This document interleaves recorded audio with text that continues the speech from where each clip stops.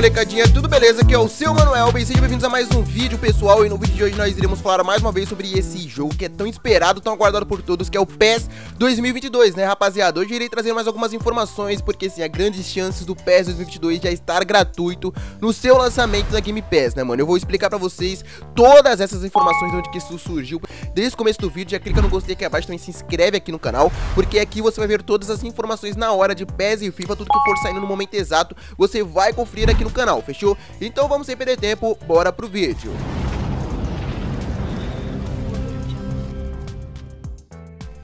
Bom, rapaziada, eu queria muito mostrar, né, mano? Agora eu acho que, acho que esse canal vai virar mais de camisa do que de pés futuramente, né, cara? Mas essa camisa nova que eu comprei da Chape, né, mano? Ela chegou hoje. Eu falei, não, já vou gravar vídeo com ela, né, cara? Camisa linda demais, mano. Não sei se tem outra camisa da Chape mais linda que essa, né, cara? Mano, muito top. Agora vamos falar o que interessa, né, cara? Vamos falar o que interessa sobre essa informação que saiu, não saiu hoje, mas ele saiu essa semana, né, rapaziada? E como estamos numa maratona direto, trazendo informações diárias de PES e FIFA, algumas acabam passando de vez em quando, né, cara? Eu estou, é claro, sempre comprometido a trazer aqui diariamente pra vocês todas as informações de, de tudo que acontece. Mas, bom, porque o que, acontece, Manuelba? É, tem sim um rumor falando de uma possível parceria entre Konami e Microsoft. Esse rumor é muito forte, não é só um rumor, tá ligado? Não é só um rumor, são vários, vários, rapaziada. Tem muitas coisas saindo que evidenciam que isso está prestes a acontecer.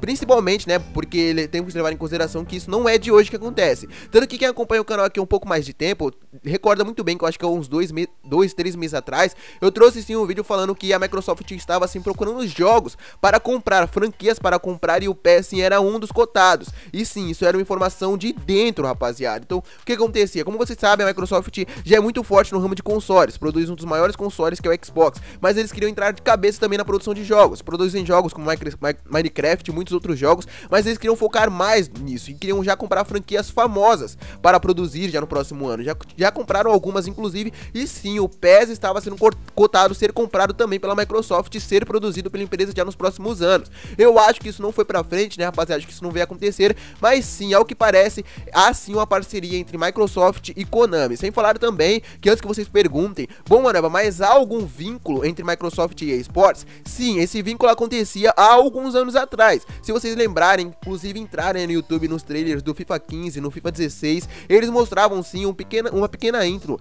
um pequeno trailer do Xbox. Sempre que terminava um trailer, eles mostravam sim aquela introdução do Xbox, né, rapaziada? Como vocês também estão vendo aí na tela. Isso acabou, sim, não há mais. Inclusive, eu acho que a partir do FIFA 18 eles começaram a destacar através desses, eh, dessas intros dos seus trailers oficiais o, logo, o logotipo da PlayStation, sim, como vocês também estão vendo aí na tela. Então, basicamente, esse vínculo que eles tinham com a Microsoft acabou nesse ano, já fazem muitos anos atrás. Inclusive, também houve rumores falando que os Icons nos Legends seriam retirados do Xbox. Muitas informações vieram, né, rapaziada? Falando sim que eles dariam total prioridade para a PlayStation. Inclusive, o EAX, que era o recurso que nós tínhamos exclusivo para o, Play, para o Xbox, foi sim passado para o PlayStation. Então, apenas jogadores do PlayStation, sim, tinham direito a jogar o FIFA antecipadamente devido ao EA Access. Então, vimos atualmente que não há vínculo mais nenhum entre a Microsoft e a EA Sports. Tanto que, apesar deles pararem de destacar a, a, o logo da PlayStation constantemente nos seus trailers, trailers, ainda assim há essa parceria com a Sony. Então, já que a Microsoft não tá fazendo nada e a, e a Konami também não tá fazendo nada, por que não, né, velho? Sem falar que logo quando saiu aquele trailer de anúncio, acho que aquele trailer de lançamento do PlayStation 5, mostraram cenas rápidas de futebol e muitos fãs de PES já começaram a associar com a franquia Pro Evolution Soccer devido à semelhança dos gráficos, né, cara? Eu acho que isso não tem fundamento, mas são sim os fatos. Sem falar também que quando o PES 2022 veio a ser lançado, como vocês sabem, anualmente o PES quando sai, eles lançam a bola promocional do jogo, a bola da versão, né, cara? Tanto que se vocês entrarem atualmente no PES 2021, além da bola nova do PES 2021, vocês veem a bola de todos os outros PES. Isso eles fazem há muito tempo, já virou tradição, tá ligado? E nesse ano, a bola chamou muita atenção, a bola da versão PES 2022, porque é muito parecida com o logo Xbox. Como vocês estão vendo na tela, a bola é cinza e tem um X verde, tá ligado? Então é muito parecida, cara. Não tem nem como vocês falarem que não. É muito parecida, mano. E isso já come... as pessoas já começaram a associar bem mais. Olha, cara, tem coisa aí, mano mano, porque não é à toa que com que todos esses fatos vêm acontecendo e também a bola é muito parecida dessa forma. E a EA Sports também anunciou duas informações oficiais junto com o lançamento do FIFA, né? Junto com o anúncio, o trailer oficial do FIFA que saiu no último domingo, eles anunciaram algumas informações e também chamaram a atenção. Quem não sabe também, o Xbox Series X e o Xbox Series S terá uma taxa de quadros de FPS reduzida em comparação ao PlayStation 5. Então, se você vai jogar o FIFA no Xbox, sendo o Xbox Series S, é, Series X e Series S principalmente, você terá assim um jogo com uma menor é, resolução do que quem, jogar no, quem jogará no PS5, por exemplo. Então, sim, quem jogará o FIFA no PS5 terá assim prioridade, receberá assim gráficos melhores, só para você ter ideia, né, cara? Então, eles estão dando total prioridade. Por que, mano, Elba? É claro que é devido a essa parceria que eles têm com a Sony. E por que, que eles estão deixando tanto o Xbox de lado?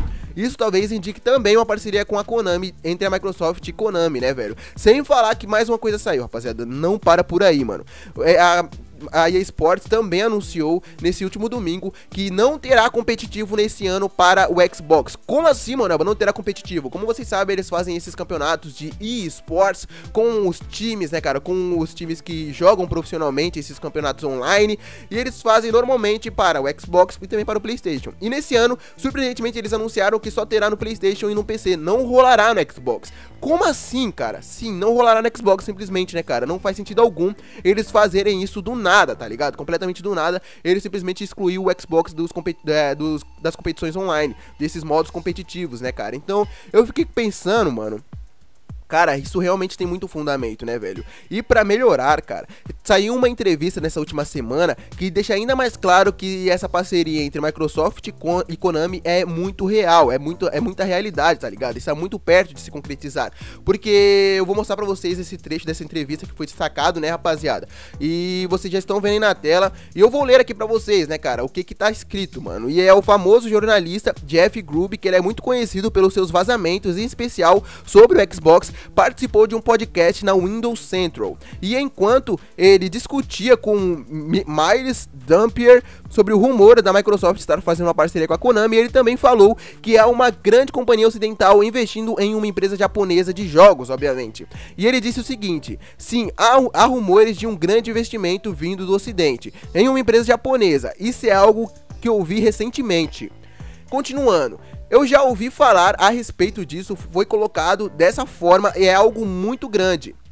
Talvez tenha algo a ver com a Microsoft e Konami. Acho que os rumores que, estão, ou, que estou ouvindo são sobre Microsoft e Kojima, mas ainda não sei. Acho que a Konami faria um pouco mais de sentido, porque há um processo lá fora com muito dinheiro que estaria disposto a ajudá-la a trabalhar com muito desses jogos. Ou talvez eles façam pachincos. O que é pachincos, Manuelba? Bom, rapaziada, eu não faço ideia. Para sempre. Sabemos que grandes empresas como a Microsoft estão famintas por conteúdo e a Konami tem um tesouro com o qual não está fazendo nada a respeito. Bom, rapaz, antes que vocês comentem, não, tá? Não é que eu não sei ler, mano, mas é que eu, como eu tô gravando com o celular, tive que escrever na pressa o que eu acabei de ler pra vocês. E, mano, a letra saiu toda cagada, tá ligado? Nem vocês conseguem ler daí. Bom, mas como vocês acabaram de ver, né, cara, segundo a entrevista desse jornalista, ele acredita, assim, que é a Kojima por opinião pessoal, tá ligado? Ele não tem nada que internamente demonstra, assim, que é a Kojima, né, cara? Mas ele teve informações internamente ligadas que, sim, falaram que é uma empresa japonesa que está prestes a fechar com a Microsoft. E, sim, há grande dinheiro rolando nessa, nessa parceria, tá ligado? E, sim, realmente faz muito sentido ser a Konami, porque já que a EA Sports essa parceria com a Sony e a Playstation, faria muito sentido também a Microsoft fechar uma parceria com a Konami, já que os dois também são concorrentes, né, cara? Cara, igual PES e FIFA. Então seria muito bacana. Sem falar que aumentaria bem mais as vendas do jogo, né, velho? Porque se vocês pararem para pensar, se vocês pararem para pesquisar, analisarem os dados, os jogadores do PlayStation 4 são muito, mas muito mais do que jogadores do Xbox, porque a galera do Xbox não se sente segura em comprar o PES para jogar com as equipes genéricas, já que não tem esse recurso de option file disponível. Tanto que pessoas que jogam no Xbox, por exemplo, toda hora estão relatando que é muito difícil achar um adversário no Xbox porque são muito poucos os jogadores que jogam nesse console. Realmente convenhamos né, cara? Porque não é nada agradável jogar com time genérico no jogo. E com essa parceria, é claro que isso ajudaria bem mais, contribuiria bem mais com que a Microsoft conseguisse sim por liberar o, esses Option 5 para esse console, porque não faria sentido nenhum eles fazerem essa parceria e continuar mantendo esse recurso, que é um dos recursos mais essenciais do PES, bloqueado da forma que está, porque quem não sabe, esse recurso é bloqueado por opção da própria Microsoft, lembrando. Então eu acho que isso seria muito bacana, principalmente, é claro, beneficiando ainda mais os jogadores de Xbox, porque além de receber o jogo gratuitamente muito mais cedo, eles também teriam esse recurso de Option File disponível, né, cara? Isso eu acho que seria muito essencial ao jogo e aos jogadores.